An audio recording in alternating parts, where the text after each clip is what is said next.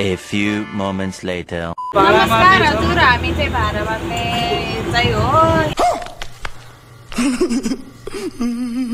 यहाँ भर्खर चक्कर खाएर यति धेरै भाडा छ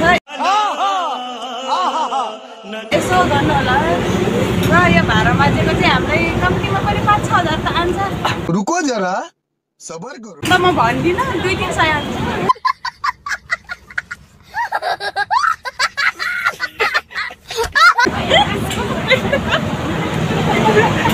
नहीं रुक। कहाँ से आते हैं ये?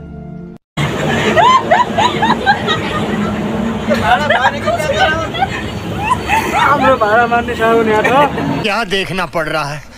अच्छा है मैं अंधा हूँ। साह्रै साह्रै हामी पिरियडमा परेका छौँ हामीलाई चाहिँ गर्न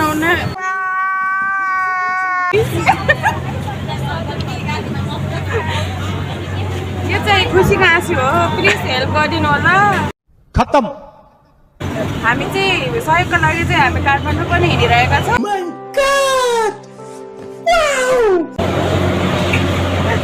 है।